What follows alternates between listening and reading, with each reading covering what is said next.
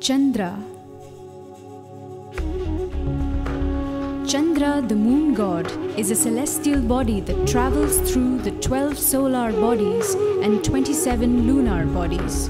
The nakshatras are said to be the wives of Chandra, his dearest wife being Rohini.